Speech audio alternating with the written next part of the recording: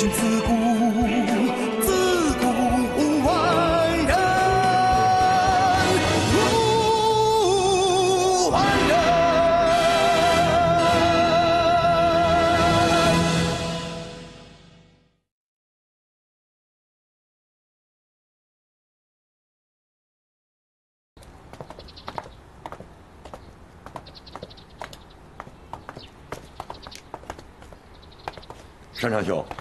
连日辛苦。啊，黄昏呢？呃，上尉在吗？大帅刚刚下堂，应该在书房吧？你忙你忙。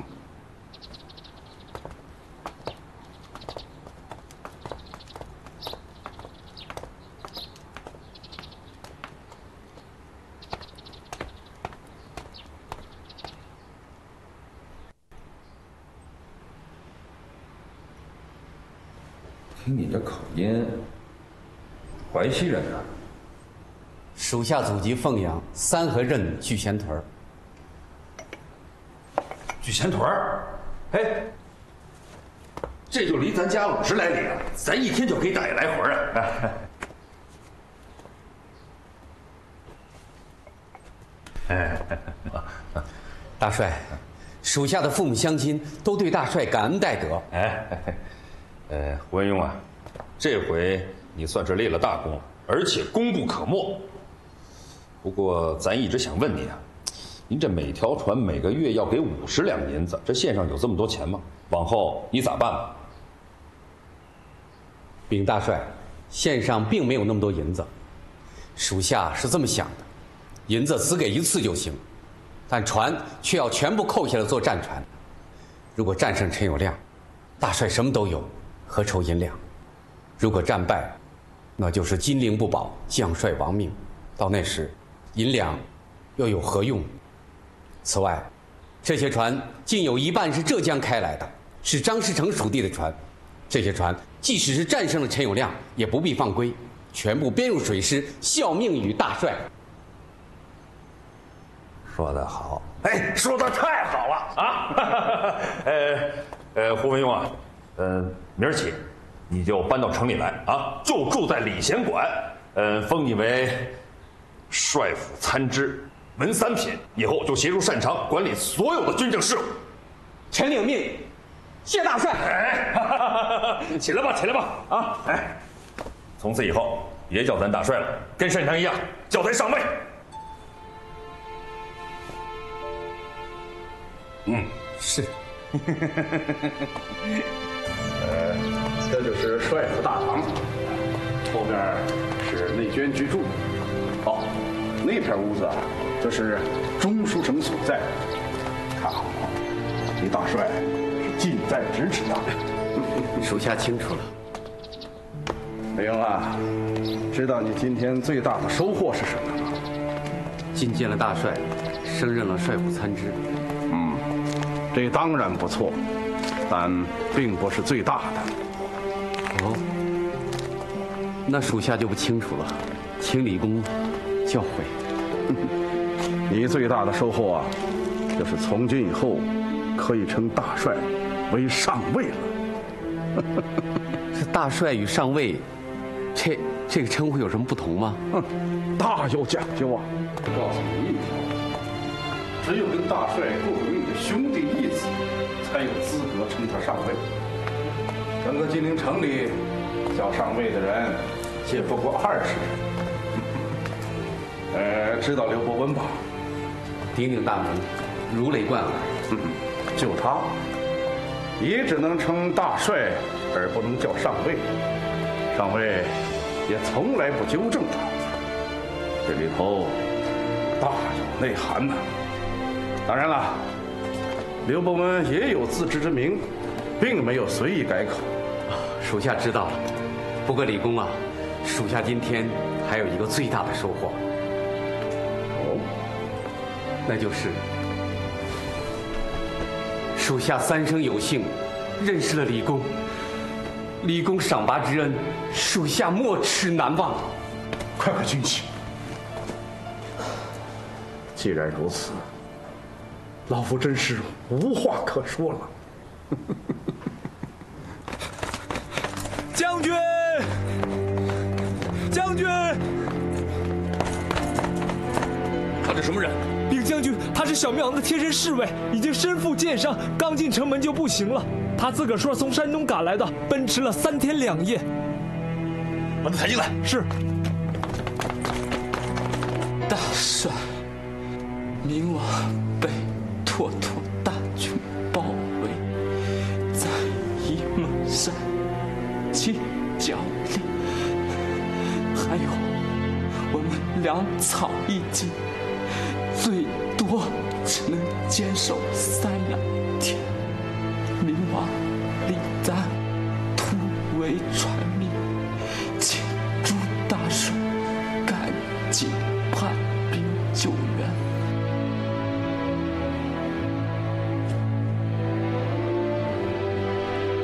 抬下去，马上医治。是。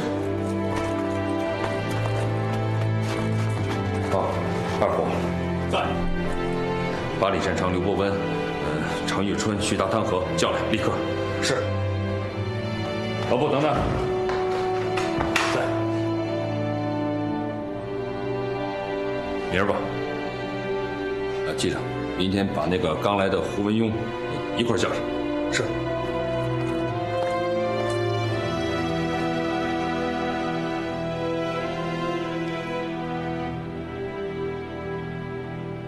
咱原以为托托率军不是西征陈友谅，就是回师陕西，可万没想到元廷发生了内乱，托托率大军又奔向元都，去救他的主子争大卫去了。可是路经沂蒙山时，遇见了小明王。不管怎么说，小明王是咱天下义军的共主，如果他落到了元军手里，元廷一定会用他的头颅传令天下，说什么北方的义军已经剿灭，南方的义军指日可灭。小明王落难，咱也有责任。如果不是咱递上的那份降表，元军也绝对不会退兵。所以咱想啊，要去救小明王，亲自去救。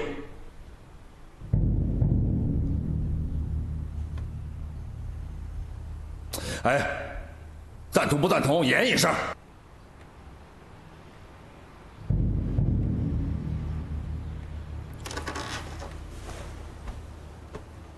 大帅，在下坚决反对援救小明王，尤其是大帅亲自前去。我们当务之急是全力迎战陈友谅，他随时可能会弃洪都于不顾，挥师东进。我也不赞成少尉亲自去，非去不可的话，我去。要我说，根本不必救。咱们起兵十年了，得过小明王的一兵一卒没有？没有。咱们是自个儿壮大起来的，跟他没关系。三哥这话就不对了，怎么能说一点关系没有呢？先大帅郭子兴就是老明王的部下。十多年来，咱们一直打着明王的旗号南征北战。而且，如果元廷灭了江北方面的全部义军，那他们就会集中力量来对付咱们的。嗯，四弟说的对，我倒把这点给忽略了。上辈，你亲口说过，洪都城每天都要死上百兄弟，十天就上千，所以如此，就是为了节省时间呢。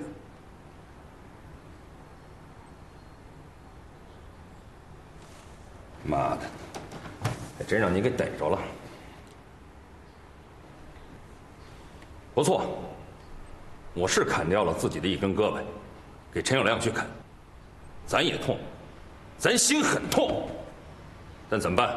只有这样，才能争取时间，把陈秃子挡在洪都。好在日后，咱亲手砍了这狗娘养。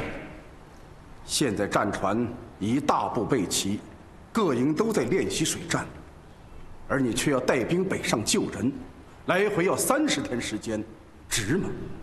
如果有这个时间，我们为何不提前西征，迎战陈友谅呢？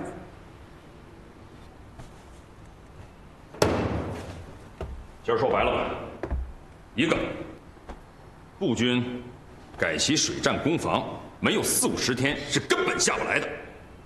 你们几个大帅说是不是这样？水师统领说过，四五十天都免下。再一个，蓝玉在洪都多坚守一天，陈友谅就得多付出一份代价，咱们就多一份把握。所以，再给蓝玉下一条死命，坚守一百天。咱是用洪都三万八千将士的血肉换取时间，以便日后跟陈秃子决一死战。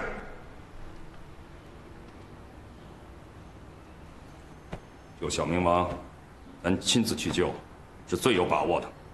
来回最多二十天，咱回来以后，这儿已经万事俱备，再西进。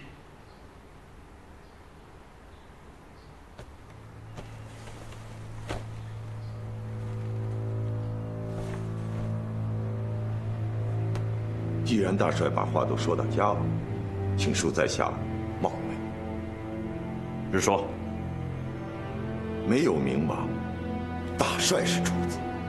明王一旦回了金陵城，大帅和明王，谁是主子？如果明王在说这说那的，大帅听是不听，从是不从。明王名为天下共主，实际上是大帅的包袱，因此弃之为佳，救回来是给自己增加烦恼。是啊，上尉。是啊，上尉，说的有道理。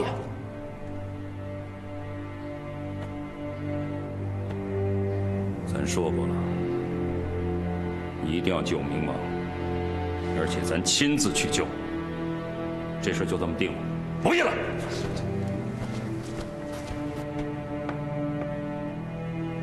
遵命，遵命。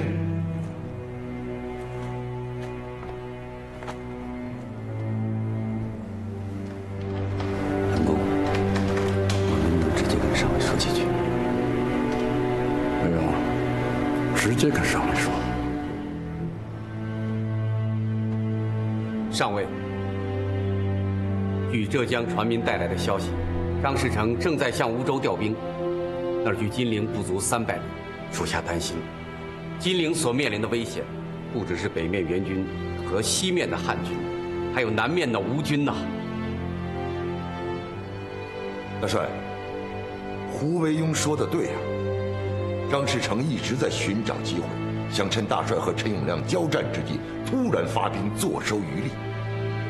而且，他如果一旦知道大帅率军北上，可能驱兵攻打金陵。很了解张士诚，他没那个胆子。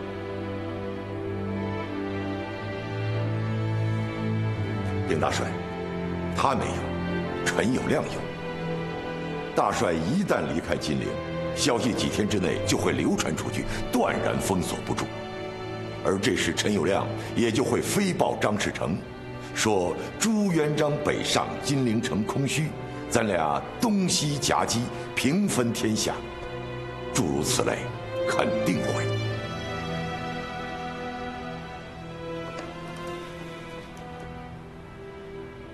你说的是啊。上位，不要北上，也不能北上啊。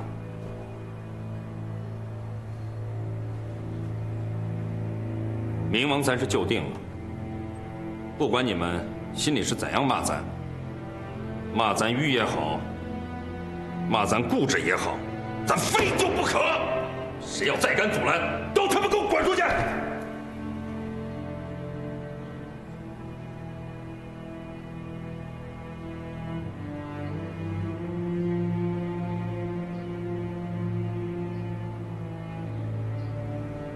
大帅，那么在下建议，在大帅北上的同时，派精兵猛将全面进攻湖州，打得越凶猛越好。其用意就是震慑张士诚，令他以为我们要全面进攻了，让他只图自保，不敢轻举妄动。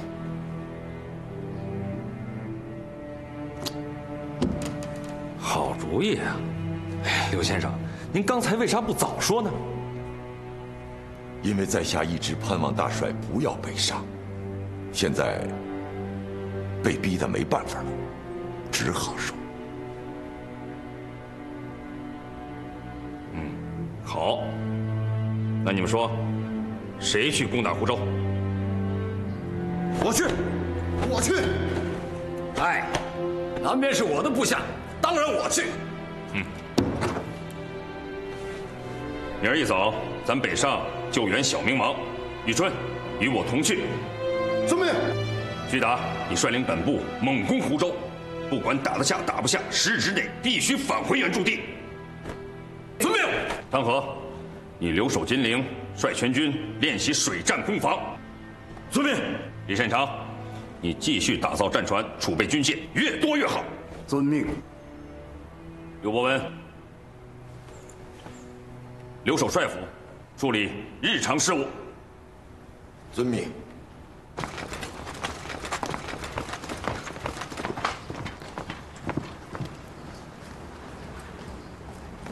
张长兄，嗯，恭喜啊，收了个包裹。当不起。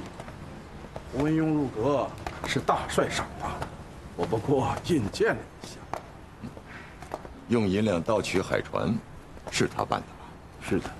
哎，干嘛说是诈取？应该说智取。是智取，是智取。你瞧我这张嘴又说漏了。他办得好啊！哎，大帅今天真是疯了。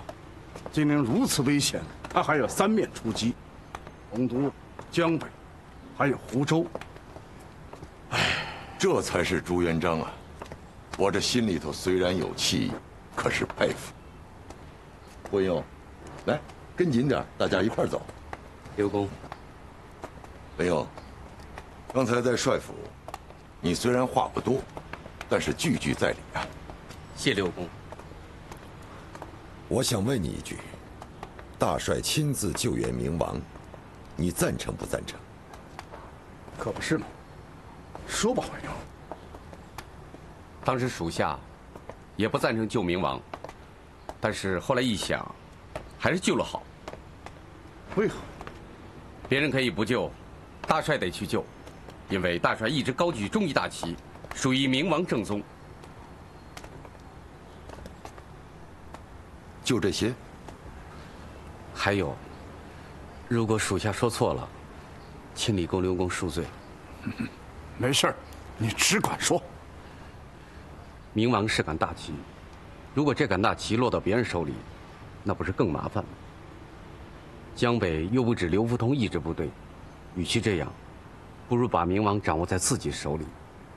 这就叫挟天子以令诸侯。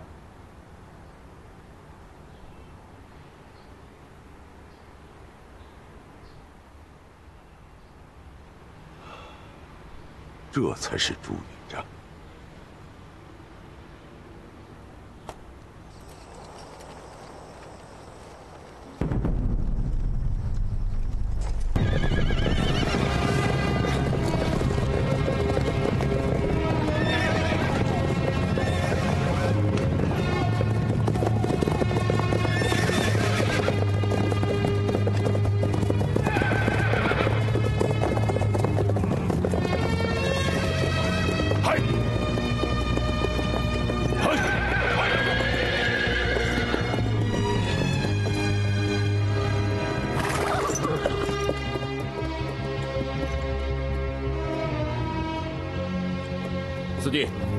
犄角岭快到了吧？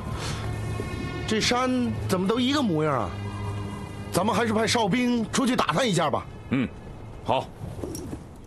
命令全军下马休息，咱们要好好的吃一顿，好好的睡一觉，明天一大早再行动。嗯，是，下马。哎，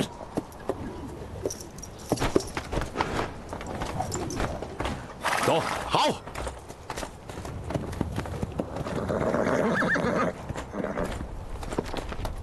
让大家原地休息啊！原地休息。哎，好嘞。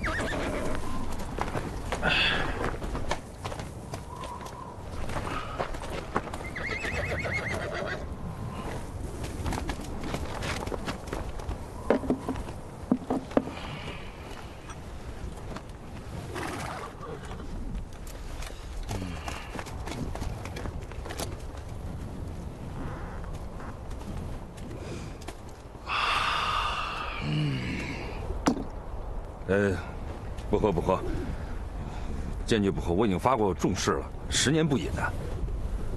没人请你啊？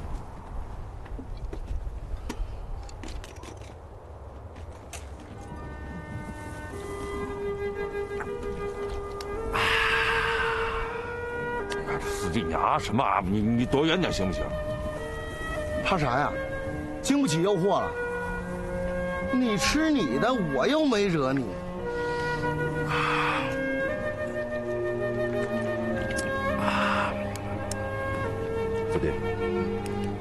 天凌晨，咱们就突袭援军大营。你挑几个可靠的将军，带人猛冲猛杀，造成大乱。我呢，就进入援军的包围，去寻找小明王。怎么样？四弟，张士诚的军旗跟军装都带上了。带上了。嗯。吃完饭以后，让兄弟们穿上张部的军装，打上张部的旗帜，好让托托以为偷袭他们的是张士诚的部下。往后，让援军的锋芒转向张士诚。哥呀，你就喜欢嫁祸于人。这张士诚的军旗跟军装到底带了没有？说过带上了。不行，你一定要亲自去检查一下。为将者事必躬亲，啊，不可大意的。快去，快去。是。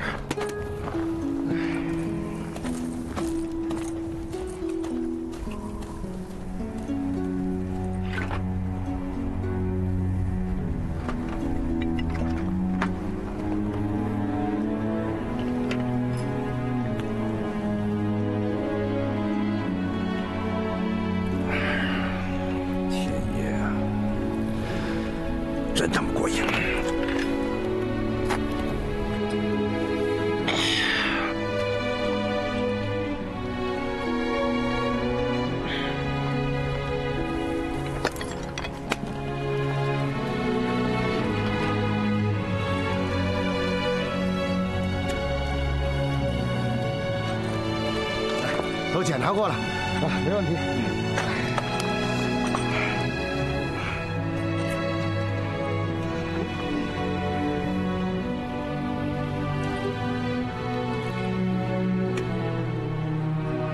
这谁干的？丑不丑啊？哼，还说十年不饮酒呢，还说天子无戏言呢。人刚一走就偷人家酒喝，丑不丑啊？丑死了！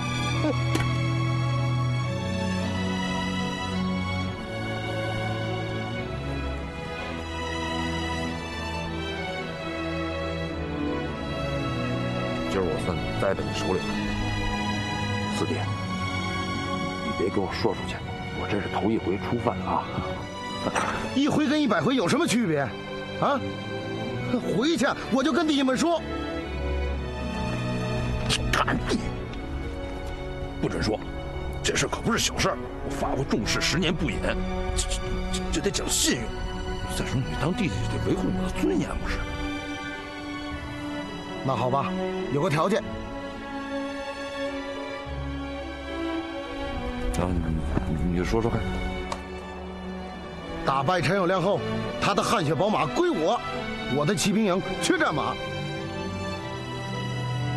四弟，这徐达他也想要来着。你甭老徐达徐达的，凡是好的器械全都给他，啊，你偏心呢你？你看，好好好，打败了陈友谅，首先见到你啊。定了？哎哎，定定，真定了。定了。嗯，这还差不多。哼，嗯。哎，还有个事儿。哎，有完没完？敲诈勒索呀你！明天冲锋的时候，你要守在这儿，哪儿都不能去，就在这儿指挥全局。临出来的时候，嫂子、擅长他们再三叮咛我，知道了吗？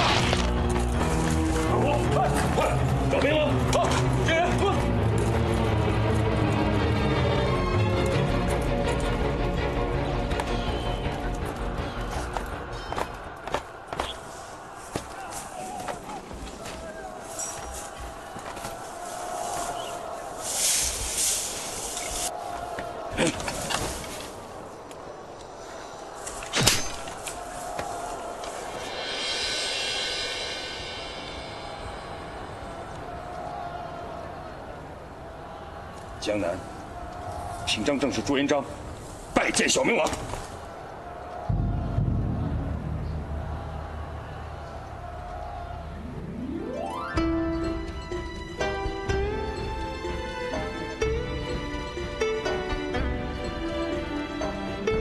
李太白，梦还半生，醒来也不过是一寒士也啊！无论文韬武略，诗诗子集。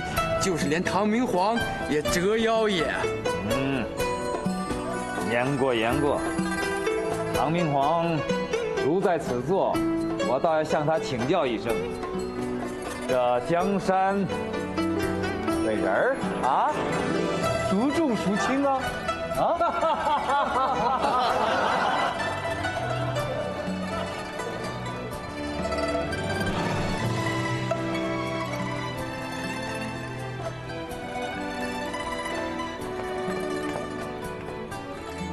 他怎么说？微臣还没开口，陛下就拿起一根银勺，在我面前划了一下。他吃好了？他叫我出去。那你就夹着尾巴出来了。陛下正在跟大儒们叙诗联句，谁要是答不上来，就要罚酒三杯啊！紧张之至啊！我哥呀，都是被那帮风流雅士给教唆坏了。啊！大人息怒，大人息怒。我嘛，我也要去划了他一下。哎，大人，哎，大人。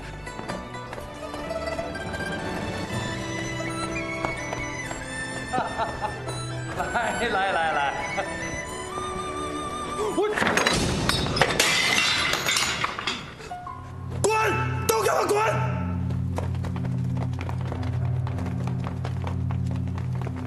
师姐，你越来越放肆了。哥呀，陈友谅、朱元璋他们在争天下呀，你呢，整日的诗词酒色呀，将士们看了都寒心。臣下们都敢怒不敢言了。说呀。你还是不是丞相？是。跪下！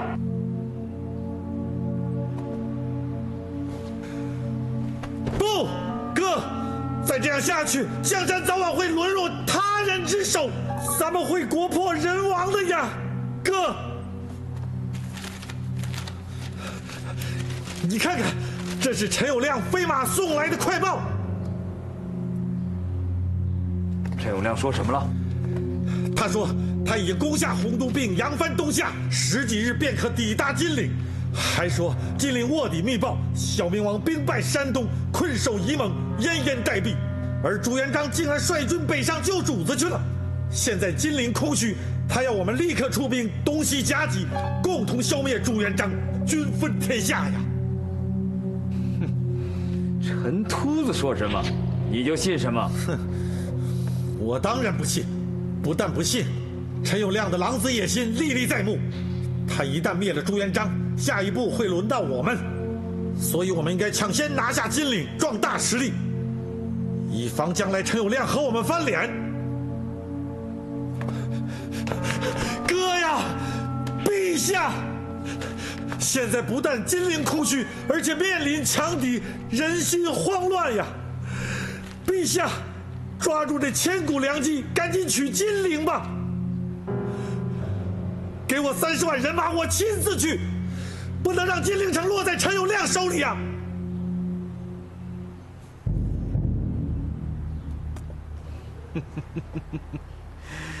你呀，兄弟，起来吧，起来，啊！这么多年了，没大长进，啊！仍然是匹夫之勇，无食马寇。你竟然没看出来呀？这些都是陈友谅的诡计嘛！他想利用我们为他攻城。还有，天底下哪有这样的傻瓜，在陈友谅大举进攻的时候而弃城不顾？哼，朱元璋也不会为一个小明王而离开金陵啊！什么事儿？禀告陛下，探马飞报，朱元璋正在进军湖州，兵马五万多，来势汹涌。统军大将正是他的结义兄弟徐达。啊，石钦啊，别的先不说了，找你亲自领兵驰援湖州，抵抗朱元璋，只许巨城坚守，不许出城与徐达作战。遵命。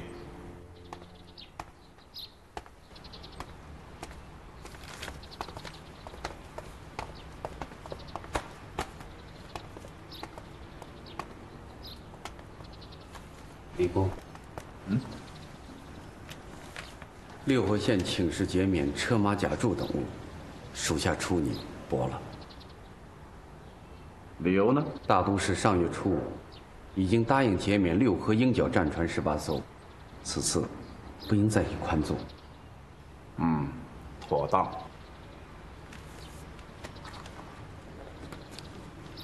镇江府新增兵勇一千二百口，需饷银。三千六百两，属下出拟照准，并酌加饷银一千二百两。为何呀？属下亲赴湛江查验过，这一千二百人，全部是十八至三十的青壮，无一虚报，这在当前极为难得。好，批复镇江，所有饷银全部发放到兵勇手中，府衙不准截留。属下即办。李公，这件较为棘手，属下不敢自专。好，将这个概要说我听听。水师千总刘长生与镖旗副将宋大贵的遗孀非婚同居，使该遗孀身怀六甲。大战在即，竟然出这种丑事，成何体统？此事，民法难断，军法也难断。属下听说，大帅曾与夫人为该遗孀再嫁时相持不下，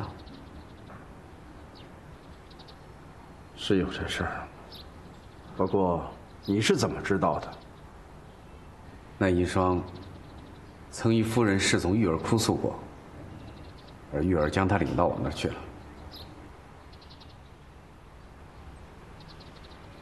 棘手，棘手啊！属下以为，李公有两个选择：一，可将此事交三军总监汤帅处理，那么那位范社的先总必处军法；其二，可将此事转内政司处理，那么这位夫人必有斟酌。属下的意思。大战在即，正需将士效命，还是转内政司吧。妥当，妥当。李先生，李先生，李先生，洪都丢了。什么？快请刘先生，咱们商议一下。是，汤帅。洪都何时丢的？八日拂晓，郑永亮率几十万大军围攻了五天五夜，总算被他攻破了。郑永亮占领洪都后，最多休整三天，然后必定率师东下，直扑金陵。刘公来了。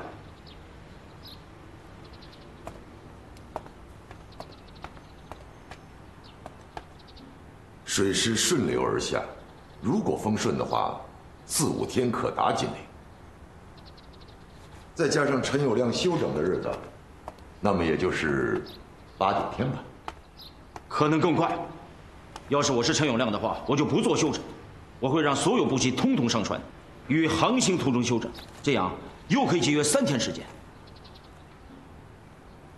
大帅北上已经二十多天了，八天也没了消息，也不知何时回来呀。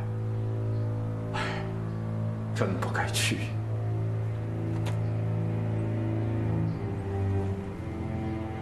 我的想法是，三军立刻登船，航至上江三岔口，站立有利地形，准备迎战陈永亮。大帅还没有回来，不妥吧？另外，派多路少去寻找大帅，找到后，让他不必回金陵，直接赶往三岔口。李先生，没有时间呢。汤帅，恕我多心。洪都城什么时候？我已经说了，八日拂晓，败兵来报。是蓝玉派来的信使吗？蓝玉已经阵亡了。前几天也有信使来报，说洪都城失守。那加上这一次，应该是第三次了。这一次是城里两个残兵向安庆守将禀报的。他俩亲眼看见洪都的东门北门都已经破了。我跟你说白了吧，我原先估计，蓝玉带领三万人，最多坚守洪都两个月，可他已经坚守八十多天了，已经很了不起了。我的意思是，既然这是第三次报失守，那就证明前两次是误报。一座城池岂有接连失陷三次的道理？或许这一次又是误报。或许蓝玉没有死，他又把城门夺了回来。洪都虽然万疾，但他仍然健在。我了解蓝玉，他打起仗来不要命，动不动就冲上去。我赞成彭帅，所有兵马军械登船待发，但不可扬帆。再等大帅三天。大帅不在，调动战船必须我们几个联手才能下令。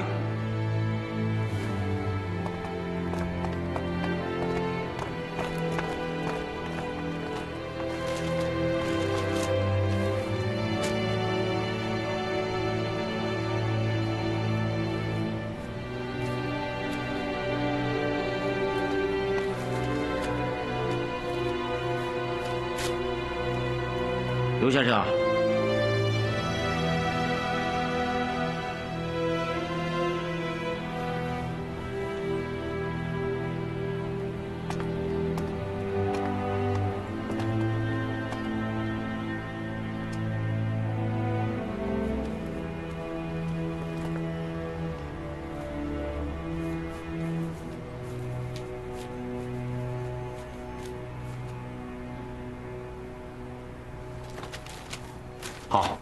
我马上颁布战令。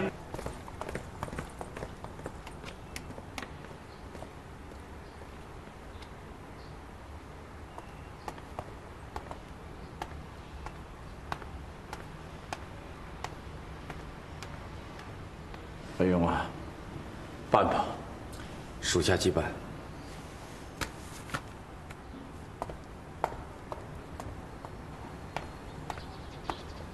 刘公，何事啊？刘公刚才所说的，陈友谅挥师东进，到金陵需要四五天时间。是。如果风顺的话，刘公，盛夏无风，即使有风，也是东南风。陈友谅，冬夏是逆风，四五天到了。而我们如果是溯江西进，倒是顺风了。刘公明鉴。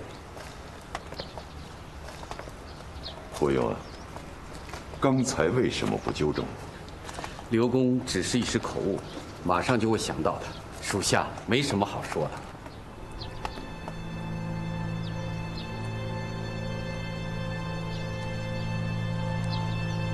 胡勇，你是一个厚道人，多谢。